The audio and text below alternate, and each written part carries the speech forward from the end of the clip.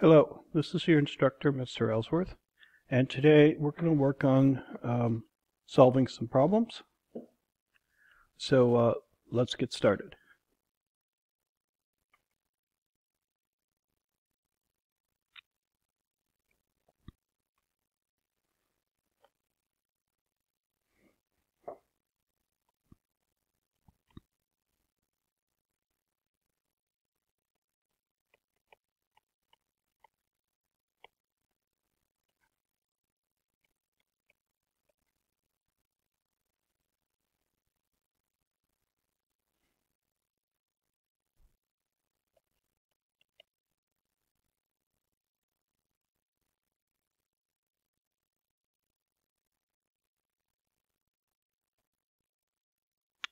So in the triangle ABC, D is the midpoint of uh, line segment AB, and E is the midpoint of line segment AC.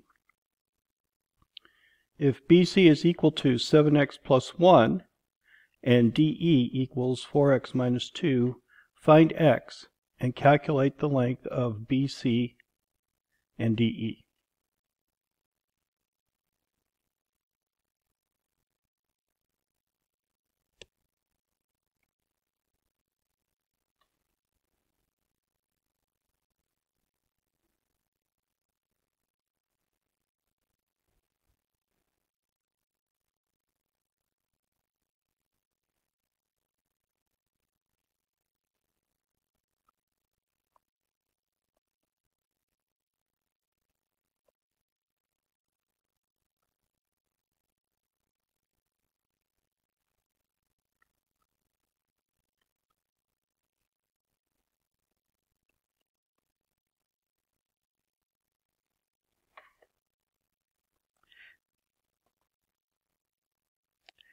There's a, a, theorem which states that if a line segment joins the midpoint of two sides of a triangle, the segment is parallel to the third side and its length is one half the length of the third side. So DE is just such a line segment and therefore its length equals one half the length of BC. So to solve uh, for x, we set DE equal to 1 half BC.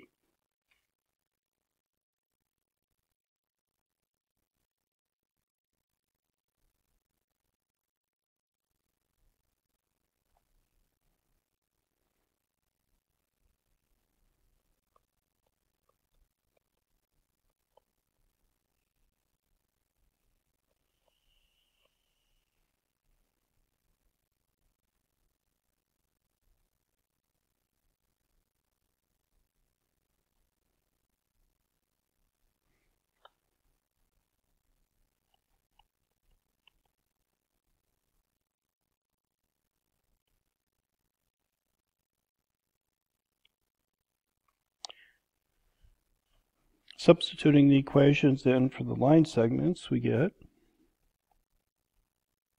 uh, 4x minus 2 is equal to 1 half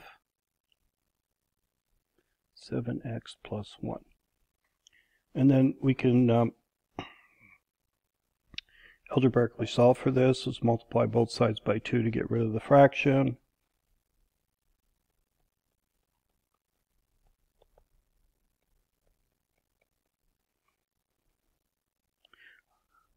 Multiply this through.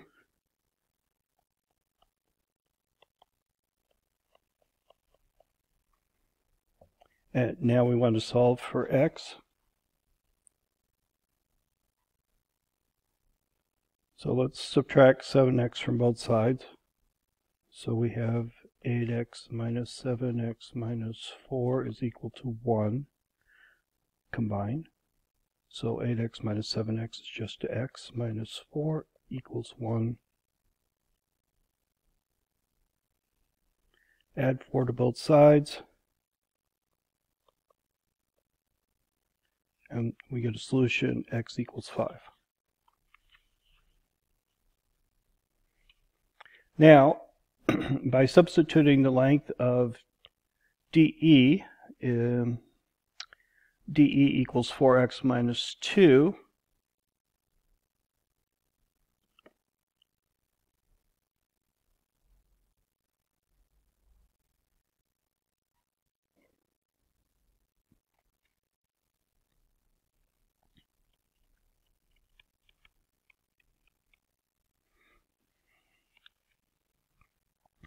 Substituting the 5 in for x,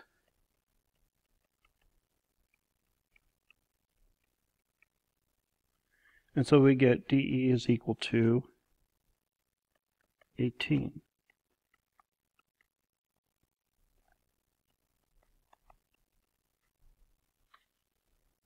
And the line segment BC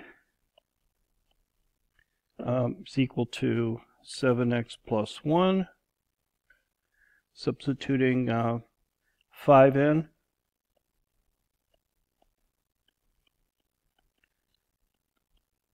So that's going to be 35 plus 1, so BC is equal to 36. And indeed,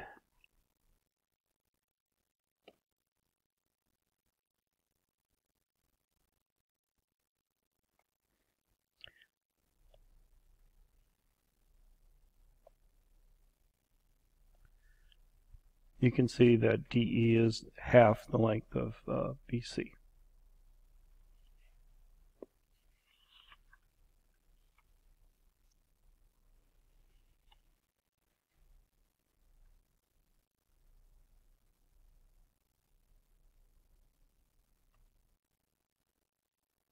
Okay, let's uh, work on another problem.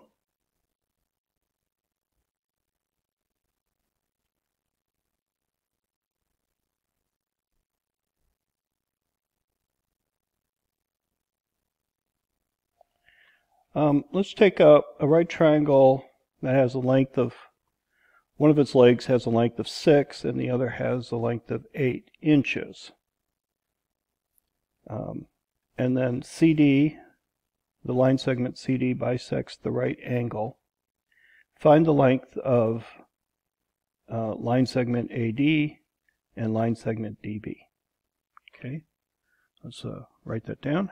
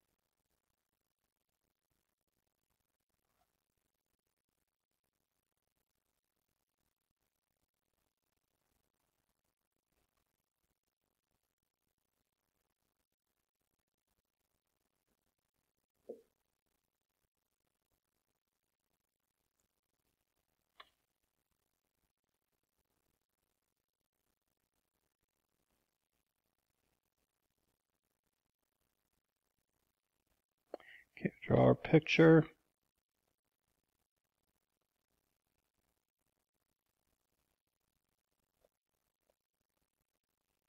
Uh, one leg is 8, the other leg is 6. And then what we want to find is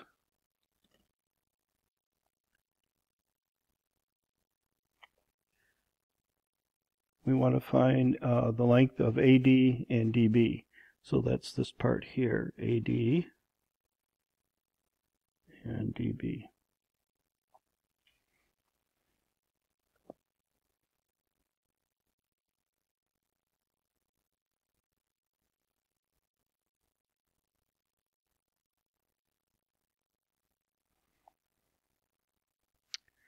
So um, the trick is we have to somehow relate the unknown segment lengths to the given data to derive um, the required results.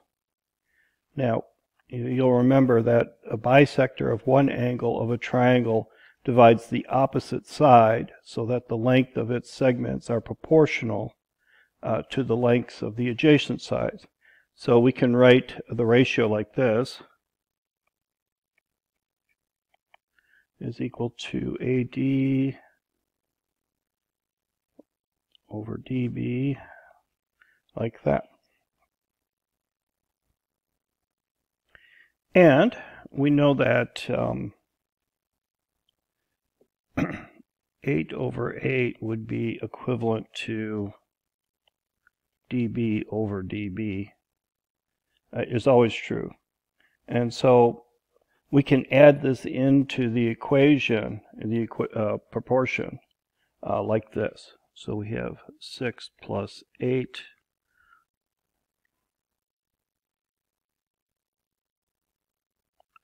over 8 AD plus dB over dB just like this. So effectively we just added 8 to our equation. And, and the reason we're doing this is, look at this, we have AD and we have dB. And so we can take advantage of the uh, Pythagorean theorem uh, to help us uh, find these lengths.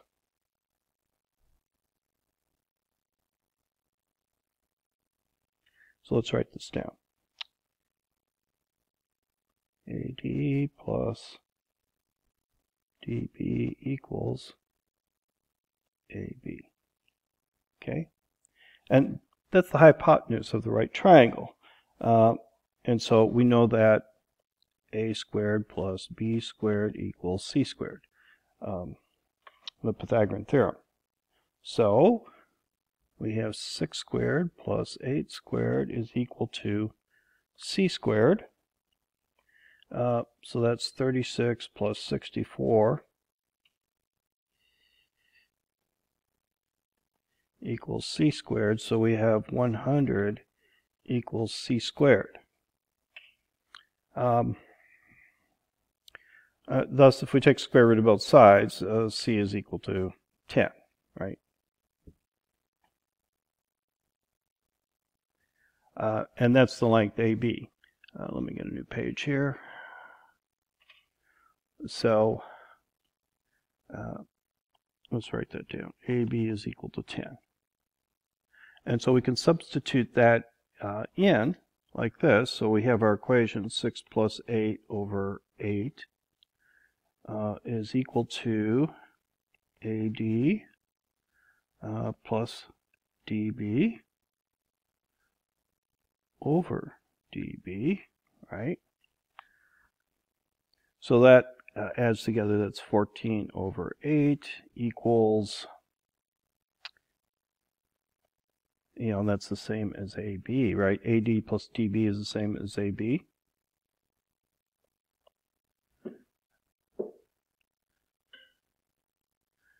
Right? AD plus DB is the same as AB. Um,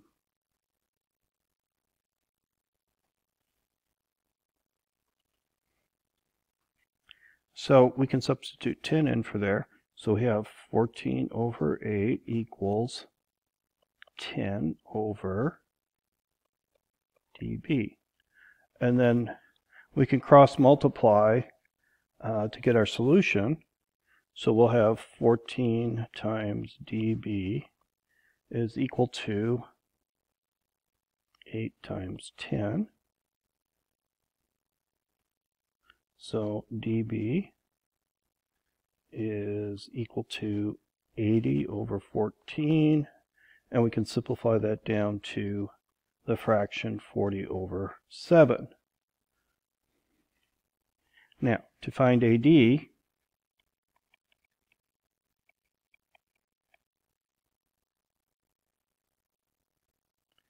um, AD is equal to AB minus DB, right? Uh, and AB is 10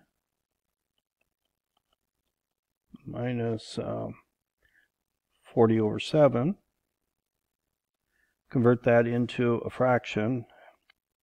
Um, if we convert 10 into a fraction, we're going to have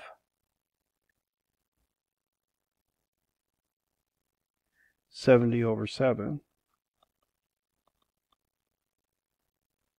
minus forty over seven, and so AD is equal to 30 over 7.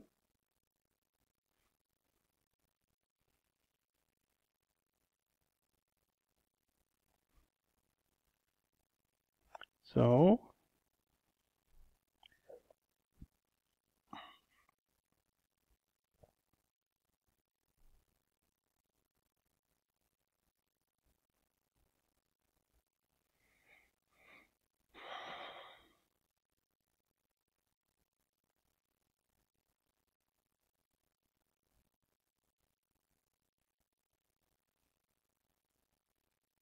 So this is going to be 30 over 7, and that's in inches. This is over 40 over 7, and that's inches. Um, as a real number, um, that would be um, 4 and 2 sevenths inches, right?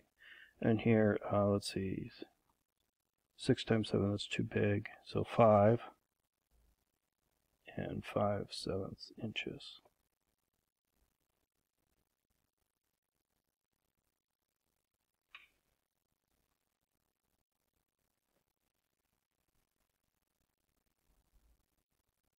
Okay, so um, we don't want to get out of here without doing at least one proof. So uh, let's work on a proof.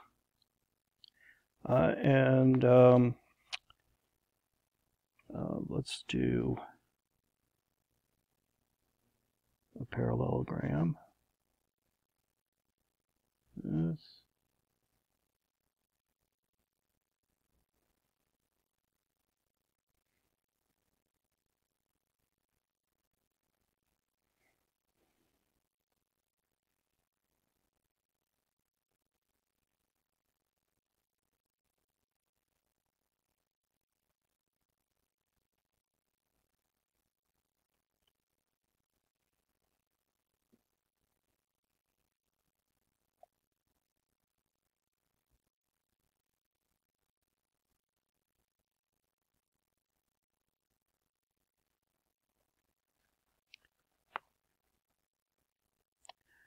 So in um, parallelogram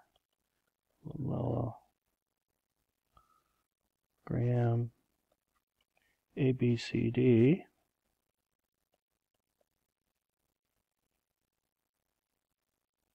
let's make uh, DE perpendicular to AB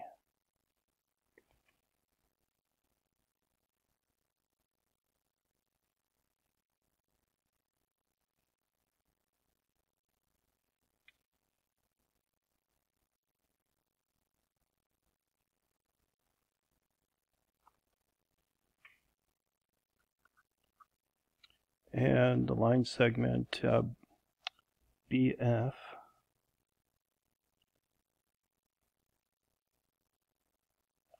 uh, perpendicular uh, to DC.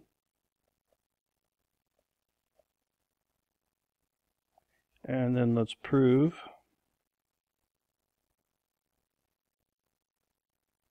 the altitudes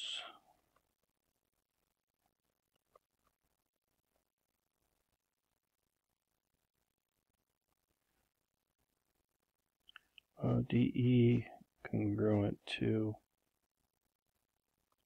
BF. So the way we have to do this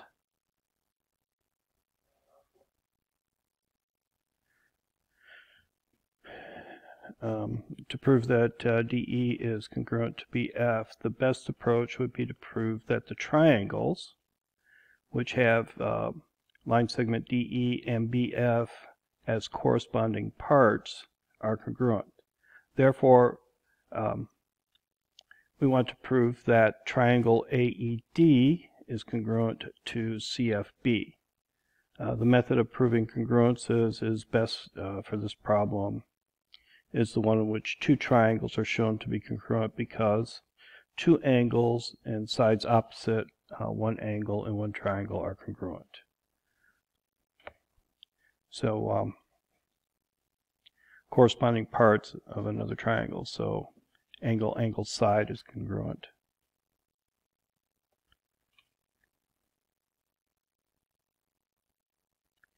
Um, in order for this to work, it's we have to remember that the opposite sides and angles in a parallelogram are congruent.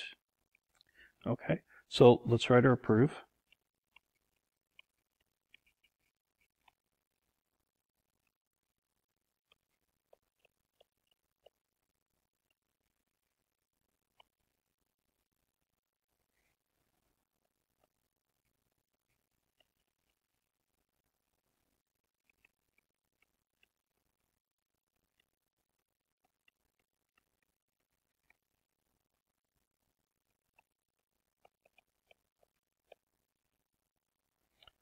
Okay. And we have AD congruent to CB.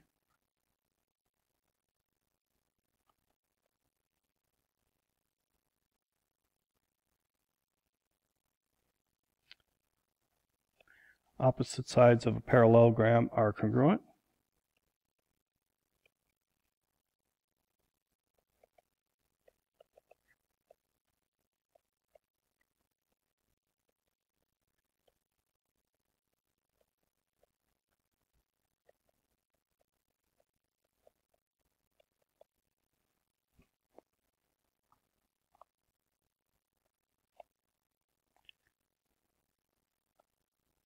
Angle A is congruent to angle C.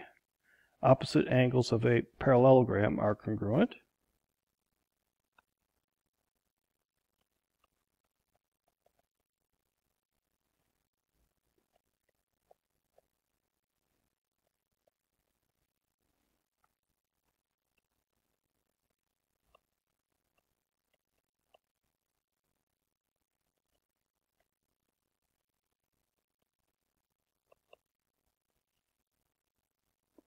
And then we have um, uh, DE perpendicular to AB and BF perpendicular to DC. That was our givens.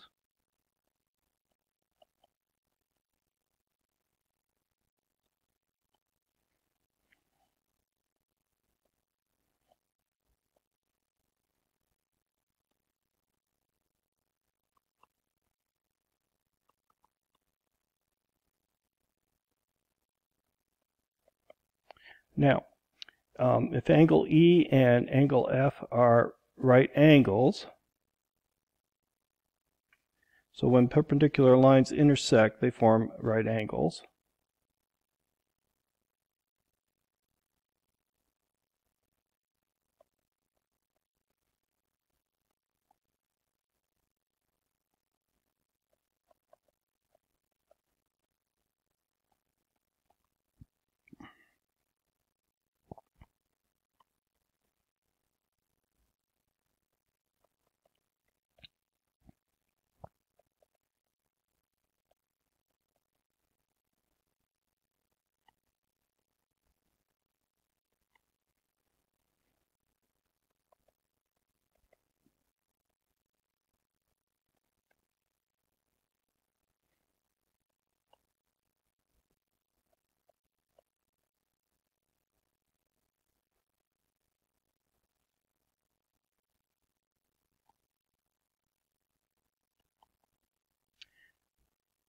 So angle E and angle uh, oh, angle E and angle F are congruent.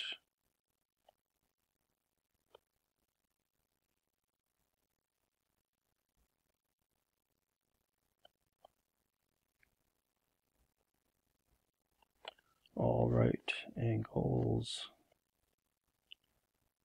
are congruent.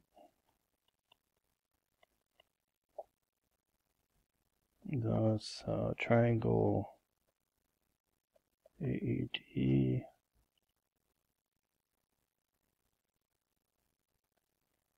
congruent to triangle CFB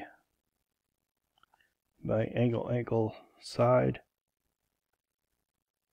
AAS postulate and finally DE is congruent to BF by corresponding parts of congruent triangles. Corresponding parts of congruent triangles are congruent. And so that's our proof. Okay, um, that's the end of this lesson. Um, so, happy math. Solve some problems, and we'll have a lesson uh, next time.